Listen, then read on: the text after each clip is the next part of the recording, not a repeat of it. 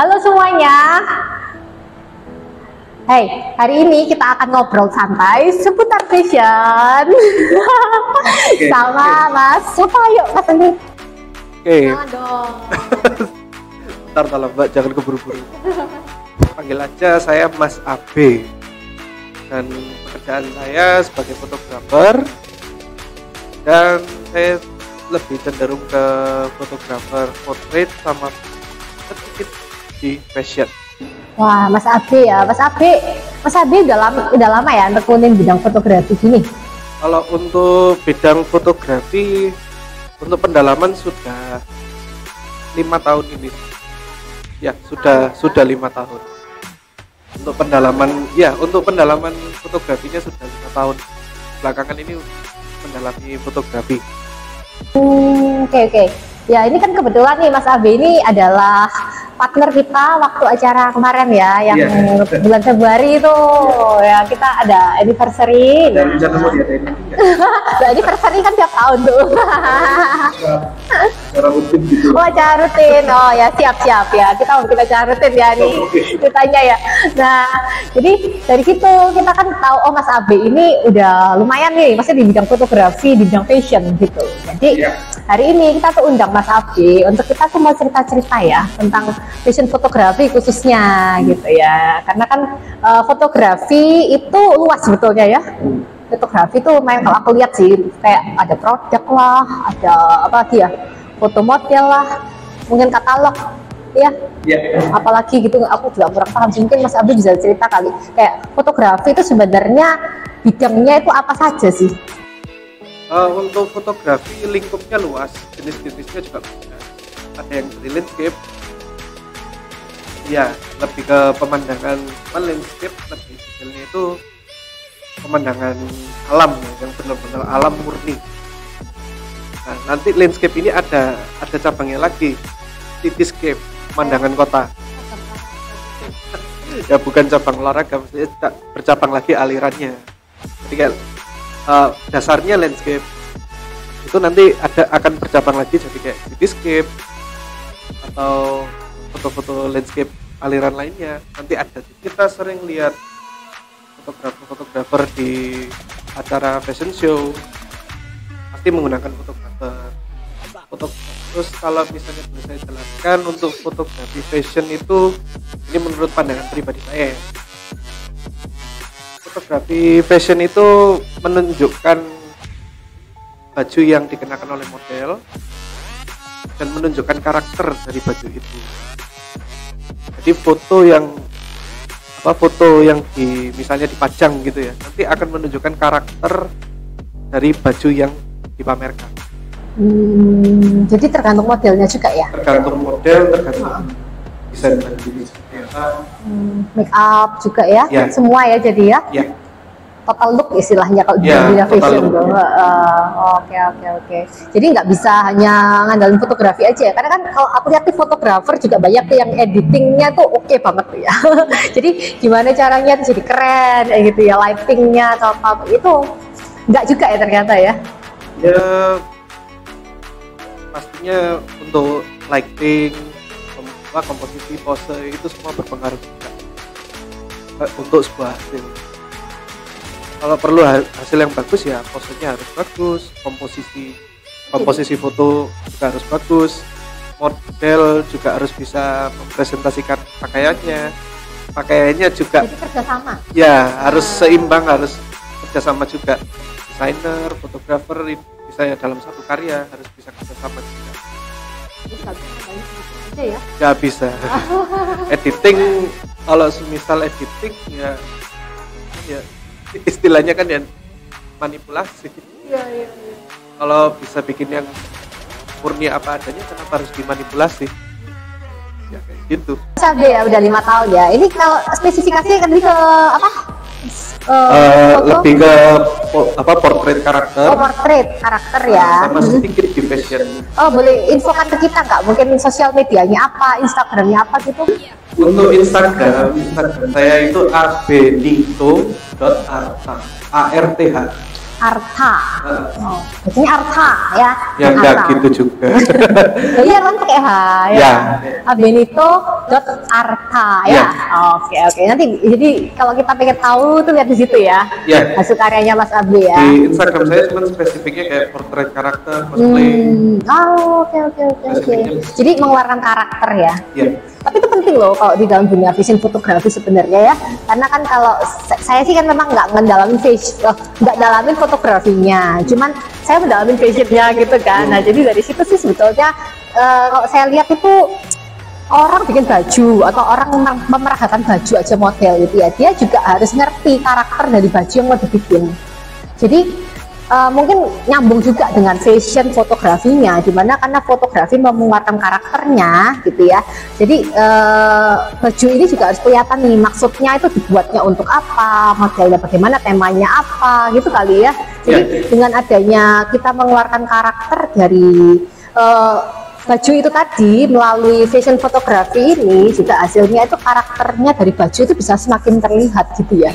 Nah mungkin mungkin kan ini ya kan tadi aku sudah tanya beberapa cabang nih dari fotografi jadi begitu banyak ya ternyata eh, fotografi ya. Yang aku tahu sih kayaknya selama ini itu project ya itu paling sering. Kemudian tadi yang mungkin dijelaskan kayak eh, pemandangan landscape itu juga ya aku sering lihat hasilnya ya. Itu memang kalau pinter ya, mesti fotografernya udah canggih gitu itu kelihatan kayak hidup banget gitu ya. Iya. Oh, oh. Terus, nah fashion fotografi mungkin yang paling dekat dengan duniaku. Aku jadi sering lihat kayak di majalah, kemudian di media-media kayak buku-buku itu kan mereka menggunakan fashion fotografi. Nah, Iya. cuman mungkin kalau dari sudut pandang Mas Abi sebagai fotografer ya, Mas Abi melihat fashion fotografi itu gimana sih sebetulnya dan apa bedanya dengan ya cabang-cabang yang lain tadi itu ya? fashion fotografi seperti yang aku jelaskan tadi fashion fotografi itu kan eh, suatu genre fotografi yang mempresentasikan baju yang dikenakan dan juga karakter. Karakter baju yang dikenakan terus kalau pandanganku sih seperti itu pandangan singkat kalau pandangan luas wah terlalu panjang nanti Saat dua hari ya kita di sini ya. ya gimana ya apalagi kan ngomong apa sekarang ngomong saya kan agak belibet ya Ya itu dulu diurai dulu mas. Ya Iya. ya kan masalah ya. ya kan nggak mungkin saya ngomongnya gini nggak mungkin terus kalau bedanya dengan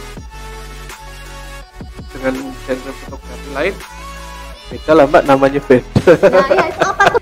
Ya, karena penasaran sebagai orang awam ya. Sebagai orang awam, uh, aku melihat fashion itu sebenarnya kayak mirip sih.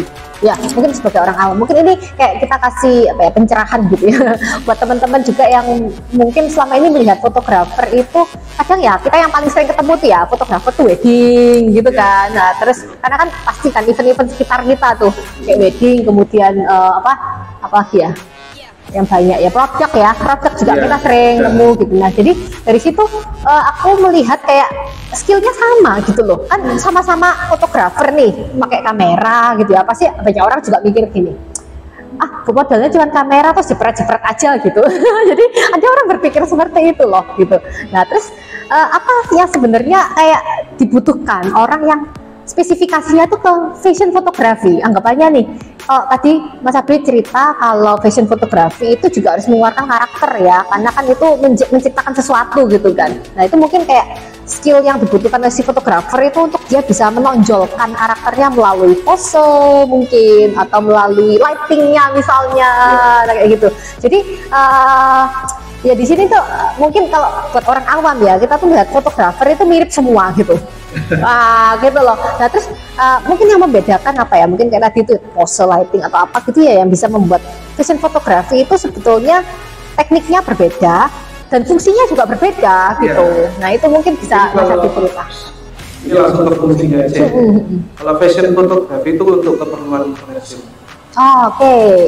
Selalu ya? Memang selalu itu ya? selalu untuk keperluan komersil. Oke oke oke. Kalau misalnya kita pakai baju open air dia kenapa kalau bukan apa keperluan komersil ya bisa fashion bisa oke bilang dari fashion Oh jadi ya kayak misalnya aku nih lagi jalan-jalan ke mana foto-foto foto gitu itu gimana tuh? Bukan fashion fotografi ya dia? Ya, bisa, bisa, Oh bisa juga termasuk. bisa, bisa, bisa termasuk. yang penting kan yang ditonjolkan outfitnya Ah oke. bajunya yang ditonjolkan Oh, oh. Nah, kalau misal fashion fotografi yang biasanya model kayak foto-foto di studio Heeh, heeh. atau foto-foto katalog itu biasanya ya untuk keperluan komersil Hmm. kayak memasarkan brand baju itu mm, mm, mm. atau memasarkan jasa desain Oh, Oke oke. Nah tapi kalau tadi Mas Abi bilang juga kalau kita misalnya aku aku lagi oke nih OTD bagus gitu ya, aku lagi suka sama bajuku, habis itu eh, aku ke tempat lah nggak tahu deh tempat apa yang menurut aku bagus juga gitu. Udah aku foto aja di situ gitu kan itu juga menampilkan dari outfitku gitu kan. Nah tapi eh, tujuannya berarti itu bisa dikomersilkan juga ya. Anggapannya selain hobi juga bisa dijadikan komersil ya. iya bisa Oh bisa juga. Oh berarti boleh ya kalau kita jual dari kayak gitu ya. Ya cuman kan kalau misalnya kita apa mau jual foto kalian uh, skala internasional gitu ya. Itu nanti ada standar apa standar sertifikat ya sertifikat izin dan lain misalnya sampean foto di depan satu rumah nah kita harus izin dulu sama yang punya rumah Oh, jadi kalau komersil tuh kayak tempatnya pun sebetulnya nggak free gitu Iya, ya, nggak bisa sembarangan Eh, bukan gitu. nggak bisa sembarangan sih maksudnya kita nggak bi- nggak bisa asal jepret sembarangan. Oh, oke oke seperti copyright ya. ya seperti copyright kalau misal nih saya foto di galerinya oh, Mbak Merisa di Merasel sini ya aku harus izin Mbak Merisa dulu kalau semisal fotonya mau aku jual ya harus ada oh, surat perjanjian tertulis kalau misalnya Mbak, Mbak Merisa setuju kalau fotonya akan Nah, oke tadi mau Mas Abi udah bilang tuh kalau mau laku hasilnya harus bagus. Iya, nah, nggak jelas nggak jelas gimana tuh. ya kalau menurut viewers Oke ya oke. kalau mau kalau mau produknya laku ya Harus bagus Iya, karena kan orang kalau apalagi all shop ya, ya anggap aja kita fashion designer, kita fokusnya ke jualan online, pasti orang itu akan menilai baju kita bagus atau tidak dari foto. iya dari itu Betul ya. Nah, mungkin kalau Mas Abi sendiri nih sebagai seorang fotografer melihat ya fashion entrepreneur ataupun fashion designer gitu ya. Sebetulnya ya kalau kita lihat pentingnya apa sih eh, mengerti tentang fashion fotografi ataupun mungkin nggak harus mengerti ya. Kalau misalnya dia mau mengambil jasa fashion fotografi gitu kan juga banyak ya. Nah itu sebetulnya apa sih pentingnya itu bagi fashion designer menurut Mas Abi? pentingnya foto bagus di desainer ya. balik lagi ke omonganku tadi ya pasti yang pastinya biar jasa desainnya laku bajunya laku dan pastinya baju yang difoto itu dianggap mahakarya Ah, jadi menampilkan Iya. keindahan dari bajunya ya juga ya. keindahan karyanya desainer Oke, looksnya bagaimana Ya. gitu ya? Kok dipakai sama orang bagus nggak gitu kan? Nah, Soalnya kan sering ya, kalau aku lihat ya orang jualan tuh, kadang ada yang pakai patung loh. Ya. ya patung juga Pakai aja. manekin yang full Pakai manekin, gitu ya. ya kan? Itu beda ya kalau sama model ya. Iya, cuman kalau manekin itu kayak lebih tepatnya untuk netral aja. Kalau menurut penggunaan manekin di misalnya di pas di foto terus pakai baju hasil desain itu itu untuk netral aja. Jadi yang kan ditampilkan bajunya, bajunya saja. Tapi emang kan beda. Ada apa bedanya sih kalau menggunakan manekin sama model? Mungkin kalau model bisa lebih digerakkan, dia bisa Mungkin kayak bebas, lebih anu ya, lebih luas kali ya. lebih luas. Kalau, Ah iya. kalau misal manekin kan ya cuma diem gitu aja. Iya, kita Paling- mau gerak gitu Kalau sweet digerakin paling kita cuma muter aja untuk look Iya, jadi kalau 3 misalnya kalau roknya mau digoyangin nggak bisa ya.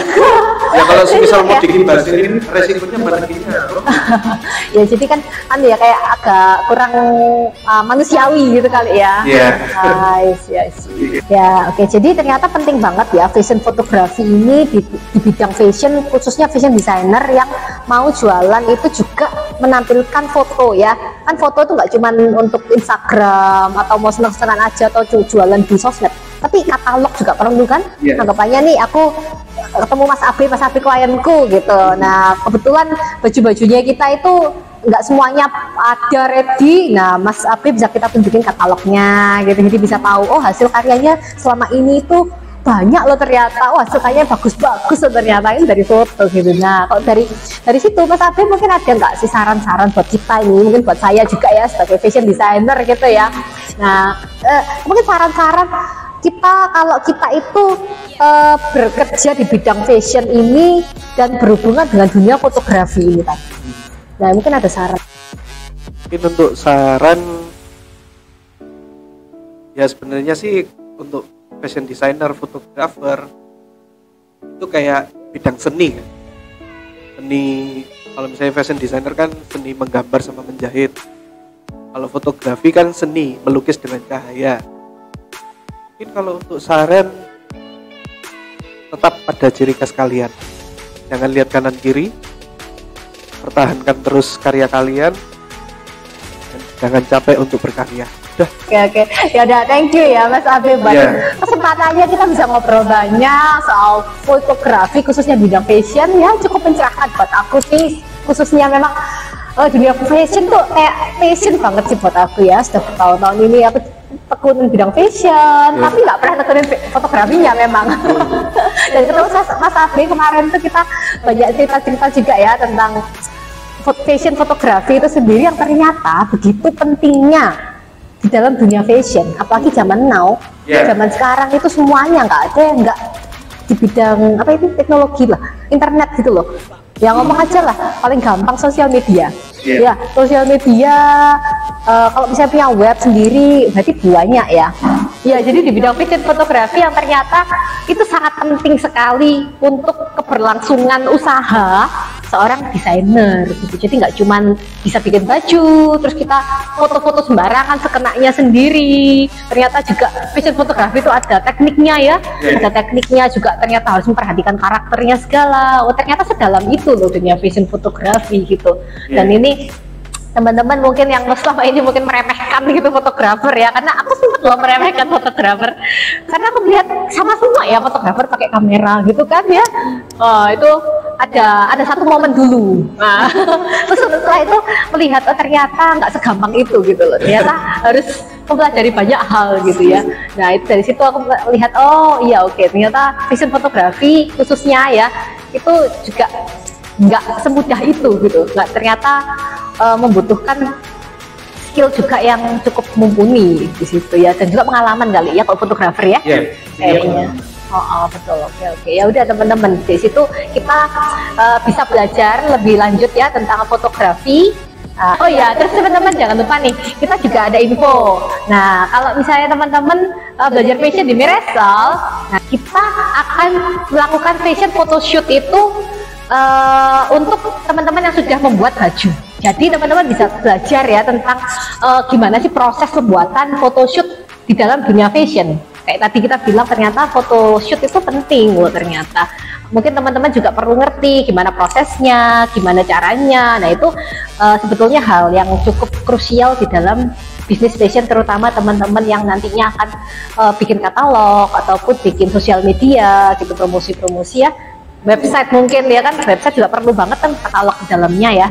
Pasti saya ya. bukan programmer website kan gitu Iya, ya website. biasanya pasti ada fotonya kan ya ya. website cakep Oh, oh, itu pasti. Kalau aku lihat sih kayak nggak bisa lepas dari foto. Ya pasti harus ada fotonya gitu jadi ya ini adalah hal yang sangat penting sehingga kita ingin ini dimasukkan ke dalam programnya Miriam. Kita akan ketemu lagi di ngobrol santai seputar fashion dengan narasumber kita yang juga pastinya akan ciamik-ciamik.